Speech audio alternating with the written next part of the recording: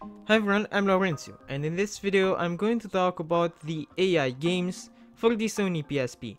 I'm not going to say much about the games on this list, as content-wise they are very simple.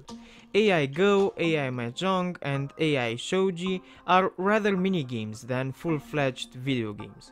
For starters, Neither of the games have tournaments, time trials, multiple characters, multiple boards or such. No. What you see in the video is all you do. After you finish a game, you can start another one from the menu. They are simple games, but if you are into one of these three games, they are great. The computer responds well, and overall you can have some pleasant matches with the PSP.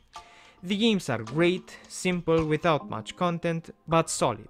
I mean, if you love the games, the replay value of any of the three games is considerable. My dad plays solitaire ever since we had our first computer. He switched from different Microsoft Solitaire variants over the years, but still, his favorite game still remains Solitaire. That's why, in my opinion, even if the games are simplistic and don't offer much in content, you can still have some infinite replay value if you really are into one of these games.